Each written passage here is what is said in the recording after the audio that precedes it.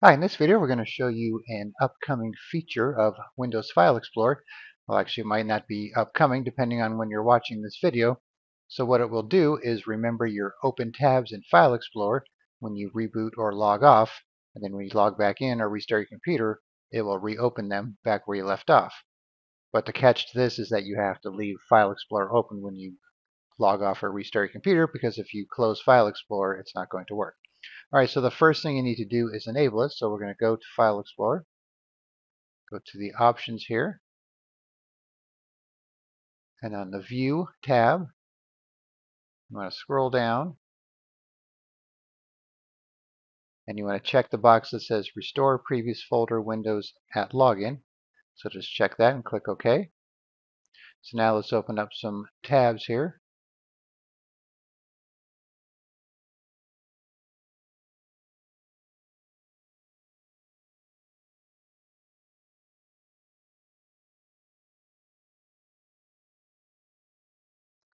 Okay, so we have these four tabs open. So let's just go ahead and log off and log back on. The same thing applies to restarting.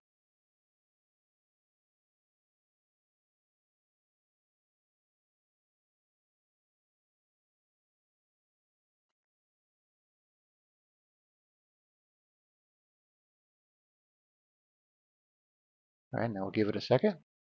All right, so open File Explorer and open the tabs that we left off with. But like I said, if you were to close it and then restart or log off and then open File Explorer, it'll just go back to the default tab there. One thing you might want to check too that you may need to enable if it doesn't work.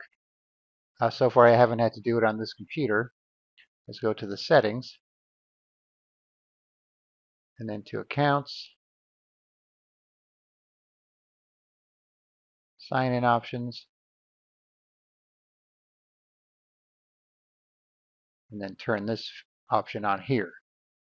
So I did read somewhere that you do need to do this, but I didn't have to do it on this particular computer, so just keep that in mind if it doesn't work. And then while we're here, let's see what version of Windows we're on here. So this computer is running the Insider Edition, so it's not the retail version, so that's why I've said it might not be available yet, depending on when you're watching this. So this is 24H2 with this build number right here. All right, so once again, just open File Explorer, go to the Options, View tab, check the box for Restore Previous Folder Windows at Login, and then like I said too, you may have to go to Accounts, Sign In Options, and then turn on this option here to make it work. So just keep that in mind if the first option doesn't do it for you. All right, thanks for watching and be sure to subscribe.